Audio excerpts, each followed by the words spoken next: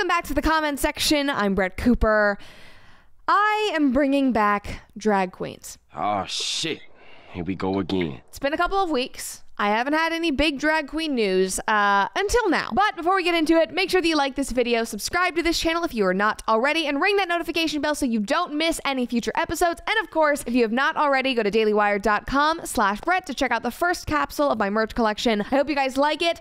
I am actually getting in uh, a whole shipment of things to the office later this week because I never got to do a photo shoot in uh, the binge kits, and I'm so excited for you guys to see them on me so you can really get the texture and all of that. So that is going to happen in the next couple of weeks. I'm so excited. Stay tuned for that. Back to the more important things uh, drag queens. The first drag queen event in the metaverse is happening this month. Daily Mail did an article about it. It is called Queens of the Metaverse, where virtual fashion meets drag realness. Because apparently, it's not enough that they have infiltrated every children's social event, every parade, every library and school. They also want to be in your metaverse, in your Oculus goggles, parading around in front of you in barely any clothing and very scary makeup. The three people that are going to be in the Queens of the Metaverse are all people who have been on RuPaul's Drag Race, and they are using the technology in the metaverse and with AI to create even more elaborate costumes and wardrobe and headdresses and all that that they might not be able to do as easily in the real world. They're going to do a show. And then later this month in September, people are going to try to make the AI like metaverse costumes in real life and then do an in person show. So it's twofold in a way. And of course, there's some like gay, non binary, trans stuff all mixed in. Per usual, I think a couple of the designers are non binary. You get the gist. It's as woke as you can get. And to be honest, I'm not too surprised by this. I honestly, if you had asked me, I would have said, I'm guessing there already are drag brunches in the metaverse. And initially, as I was reading this, I was thinking, you know, maybe this is good we can just keep them there. We can get them out of drag queen storytime. We can get them out of school events and kid friendly brunches and just pack them into the metaverse. But the plan for metaverse and Web3 is so overwhelming and all encompassing that just sticking something in the metaverse isn't really doing away with them. It's not actually a solution. It's honestly just launching them into the future where they literally have access to everything and every person no matter where you are on the planet. I mean, the only thing that you do not have access to in the metaverse is steak from Good Ranchers. Because even though you might get to go to virtual drag queen brunches and do weird yoga classes with your Oculus goggles on, you can't replicate steak in the metaverse. But I guarantee they are going to try, and I guarantee you are going to hate it, which is why you should get ahead of them and order a box of meat from Good Ranchers. And this month in August, when you buy a box of Good Ranchers meat using my promo code, you not only get some delicious food, but you are also supporting Good Ranchers on their mission to give 100,000 meals away to students in need this back to school season. And to help them out on this mission, I am offering 10 of you the chance to come hang out with me on September 21st via Zoom. We will cook steak, I'll answer your questions, and all you need to do to be eligible is go to goodranchers.com slash Cooper. You get $30 off plus free shipping, plus you get entered into the giveaway, and you get to support Good Ranchers as they are helping kids in need, all while eating delicious steak and laughing at people who are in the metaverse. But really, like the metaverse stuff, it is fascinating. I am guessing that I will have to be involved in it in some way in order to keep up with the trends and the use and all of that stuff. But I will acknowledge that it's a bit creepy because of what I mentioned, because it is so all encompassing, because distance is not a boundary. There really are no boundaries. And it really weirds me out with all of the drag queen stuff and the trans things and the grooming because they're already going after kids.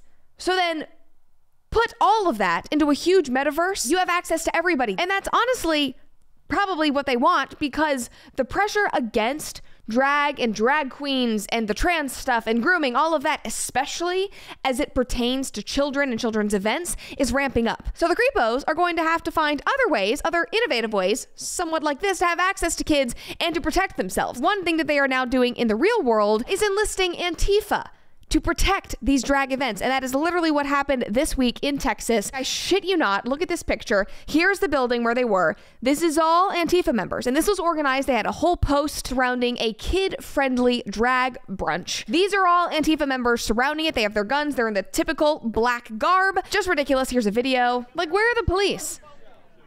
Instead, it's just Antifa. Like, look at all of them. They're all black with their rainbow flags wrapped around them like some kind of battle scarf. And as you can see in the video, there were people who were in attendance that were pushing back against Antifa that were trying to get in to protest the event being held. Antifa did not want that to happen. That's why they were stationed around there to keep the white supremacist Texas fascists away from the drag brunch. Here is a video of them on the other side of the street. Here's like an altercation. So that was happening basically the entire time that the drag queens were in there. I also love this guy in the red because he is having the time of his life getting in this ridiculous woman's face, which I very much appreciate. But now we need to look at the event that Antifa was protecting. And avert your eyes if you are sensitive. I don't even mean to say and like sensitive. If you just don't want to see this, it's kind of grotesque. Here we go. Oh.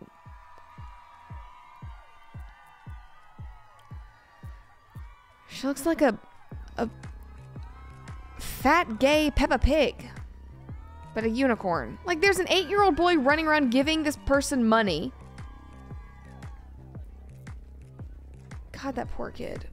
Like hysterically jumping around for this drag queen. There are children in attendance. Oh, here we go. More kids sitting there. More drag queens on a table, twerking. Great. Okay.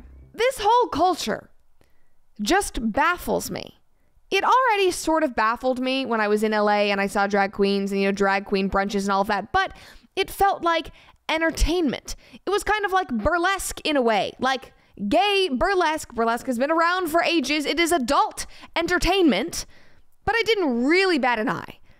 And now this is like seeping into every aspect of our culture. Imagine if there was burlesque stripper story time. People would have a cow, but they are willing to die on the hill of these people being involved in every part of our children's lives. Is this how you get your sick kicks? What? It's just an ordinary crabby. Oh my goodness! It's just weird. Somebody commented and said, To our US friends, you had a good run. Yeah, that's kind of how I feel these days. It's a little depressing. One attendee brought her son to the kid friendly drag event and proceeded to do this as she was pulling out and leaving. And you need to know she was very drunk. But this is what she did to the protesters. It's not Antifa, but the protesters. She's gonna crash your car. Get on your meds, lady! Oh Get on your meds, lady! Medication! You don't even know what the term is. Get on your meds, lady! You're the fascist. You dumb You people want to oppose your fascism. Just wait, this is gonna be the good part. Literally pulls out her tit as a form of protest, while her 12 ish year old son is sitting in the front seat next to her. She flips off protesters and pulls out her boob. That'll really show them. And then if you scroll down in this thread, this is what she was doing before they got in the car. And as you can see, she is very drunk. She's grabbing her son. This kid looks like he does not want to be there. She's so sloppy. Okay, now the kid's flipping off the protesters, learning from the best. She keeps trying to kiss him. He does not want to be kissed. Her boobs are literally hanging out of her shirt.